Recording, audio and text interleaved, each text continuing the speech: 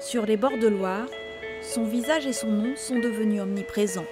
Steve Mayakaniso a disparu un soir de fête de la musique. Son corps a été repêché dans le fleuve un mois plus tard. Depuis, la famille fait son deuil et s'est constituée partie civile.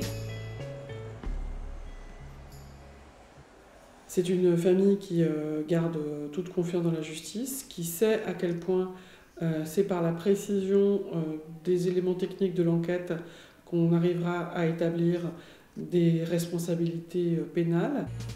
Des analyses tentent actuellement de retracer toutes les données de localisation du téléphone de Steve lors de l'intervention des policiers. 4h30 du matin, une charge violente pour stopper la musique. 14 personnes, dont Jérémy, tombent dans la Loire.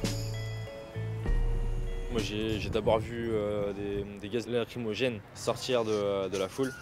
Puis bah, moi quand j'ai vu ça j'ai voulu partir.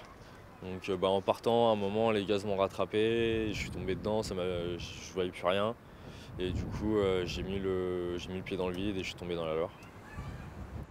Comme Jérémy, 89 personnes ont porté plainte pour mise en danger de la vie d'autrui par les dépositaires de la force publique.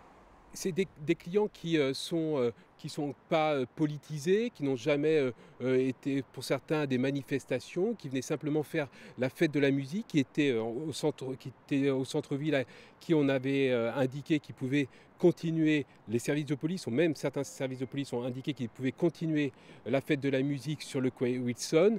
Ils sont passés en quelques, en quelques minutes d'une fête à une guerre. Pour eux, ils l'ont vécu comme ça. Comme le dossier sur le décès de Steve, l'affaire a été délocalisée à Rennes pour que le juge d'instruction n'ait pas à enquêter sur des policiers avec lesquels il travaille. C'est le parquet de Rennes qui a donc repris les investigations menées l'année dernière par l'IGPN. Moi, aujourd'hui, 11 mois après les faits, je ne sais toujours pas euh, combien de fonctionnaires ont été blessés, quelles sont la nature des blessures. C'est au départ ce que j'attendais, moi aussi, de cette enquête administrative de l'IGPN.